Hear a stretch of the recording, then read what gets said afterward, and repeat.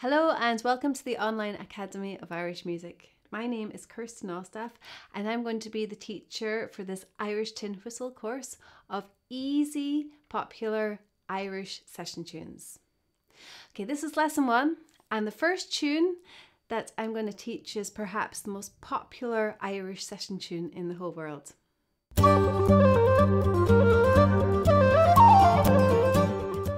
The good news is that all of the tunes I teach in this course are available as backing tracks on the oaim.ie website. And these tracks allow you to practice the tunes along slowly at first and then gradually build up your speed. Um, this is a brilliant way of accelerating your learning while having good fun and playing the tunes with others. Some of the tunes I'm teaching in this course um, are also featured on our virtual reality Irish sessions. So make sure to check them out. Now, without further ado, let's get started with the first tune in this series called The Kesh That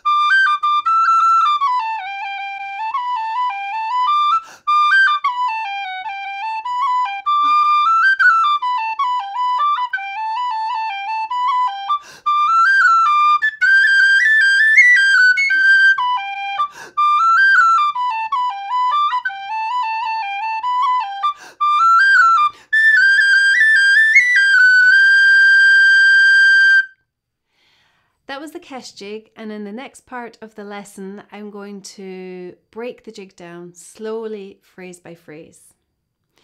We're going to continue developing the ornamentation taught in my first course, Tin Whistle Basics, cuts, taps, rolls, and slides.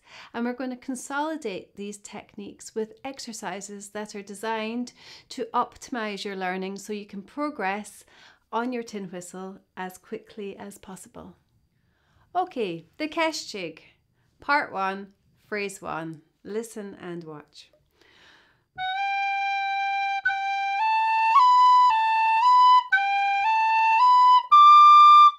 Okay, the first note's G, but I'm sliding up to the G from an F. Okay.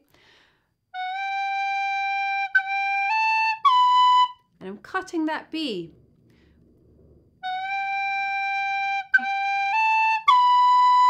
Moving on.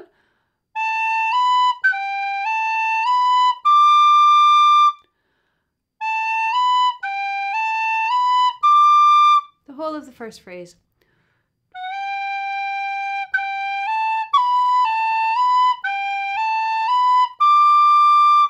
Good. Right, moving on.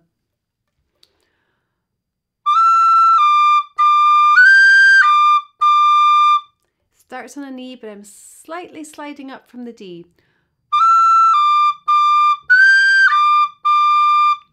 Now the, there's two Ds um, twice, so um, I'm separating the Ds with a light glottal stop or a light tongue.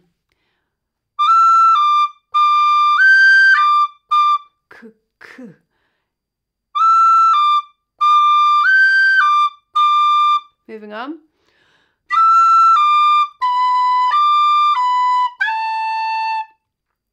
Okay, so the whole of that second phrase, starting on the E with a slide up to it.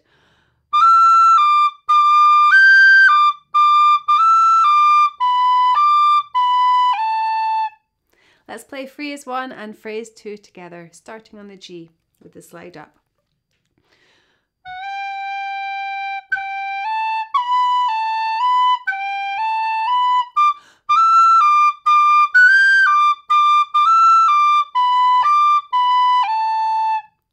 On.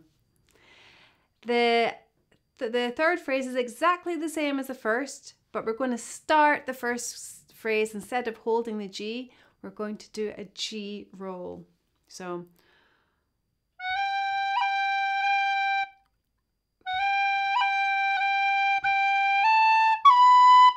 So a roll where I'm still I'm sliding up to the G from the F, then I'm cutting and tapping. So slide, cut, tap, slide, cut, tap, G, A, B, okay?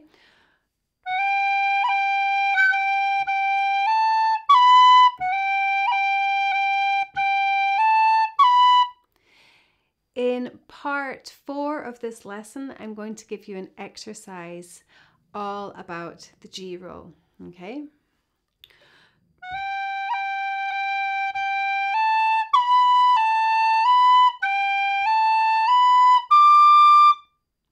And moving on to the last phrase.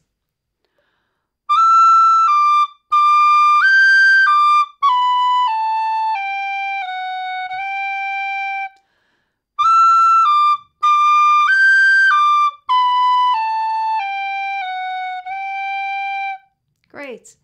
Okay, let's play the first part together nice and slow. After four, three, four.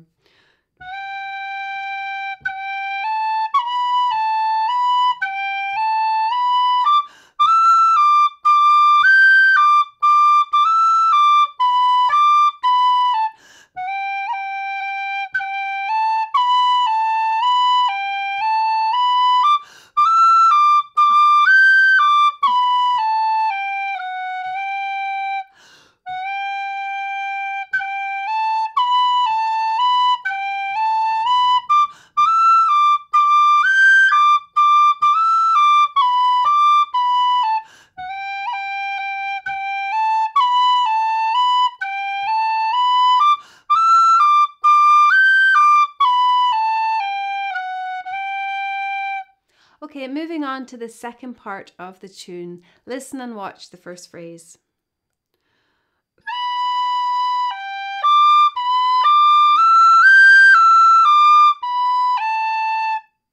Okay, again, notice how I slide up to the first note and um, the last note, the last A, I do a tap on.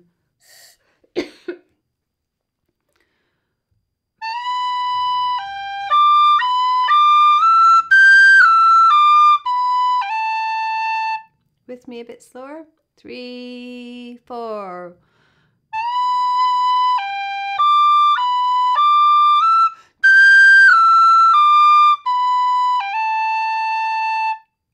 Moving on, second phrase.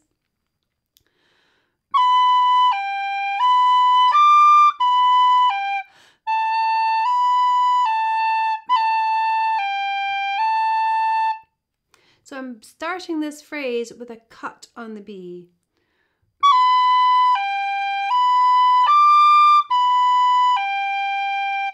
Okay, and the second part of the phrase.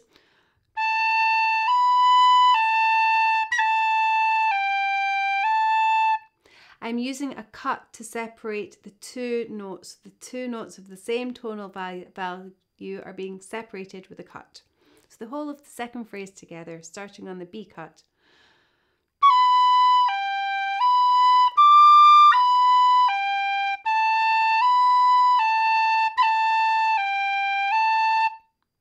Let's do the first and the second phrase together, starting with a slide up to the B. After four, three, four.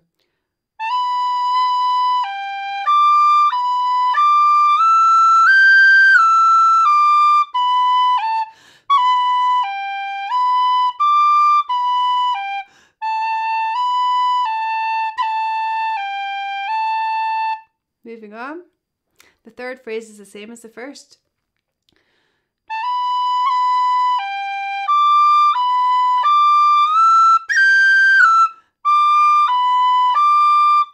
You might notice I did a little cut in the middle of the B just for a little variation in ornamentation.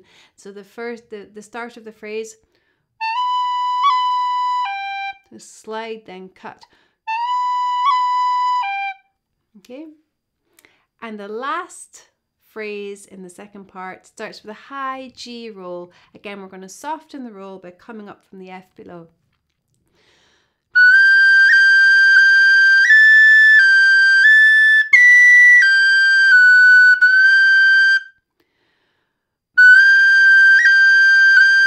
So slide, cut, tap, slide, cut, tap.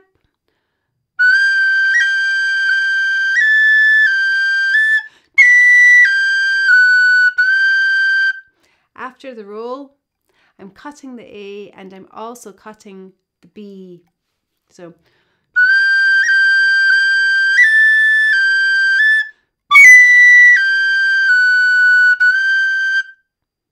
Okay, let's play the second part twice together, nice and slow.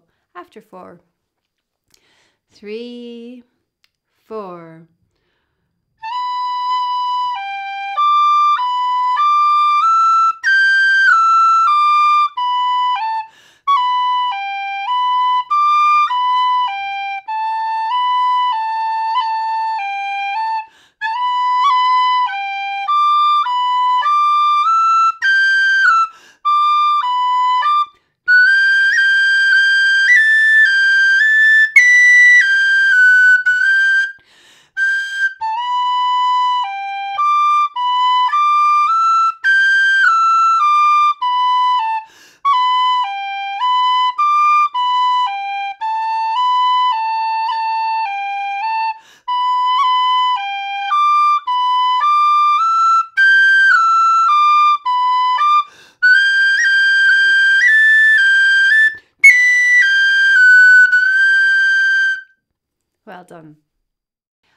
We've now learnt the first two parts of the Kesh jig.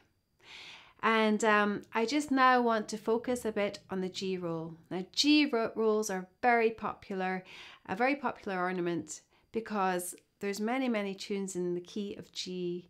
Um, G major is probably the most common key in Irish session tunes. I'm going to play a little exercise. Um, featuring the G roll. Now, it's not enough just to practice the G roll in isolation. It's often getting the notes before the roll in, while we're panicking, before we're doing our ornament, and also to be able to execute the roll and go straight into the next note. So here is the little exercise I've devised to help you do so.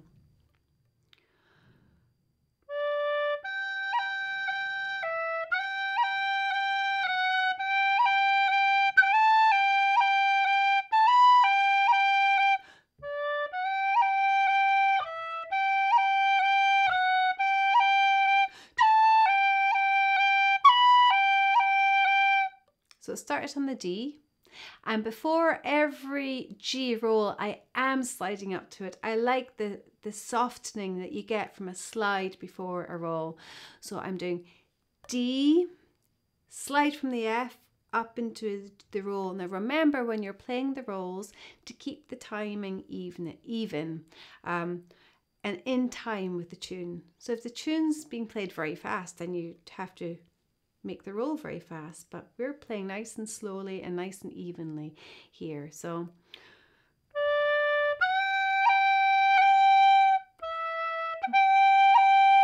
so D G roll, E G roll, F G roll, A G roll, B G roll.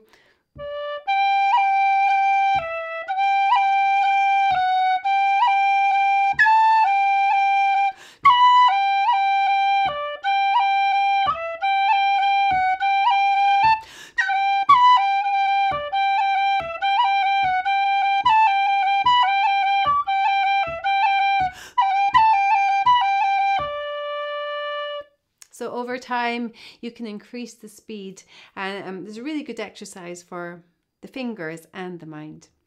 Okay, in the next part of the lesson, we're going to do whole tune practice. So play along with me. I'm going to play the whole of the Kesh jig at a nice and steady pace. And on the repeat of the tune, I'm going to increase the speed slightly. Okay.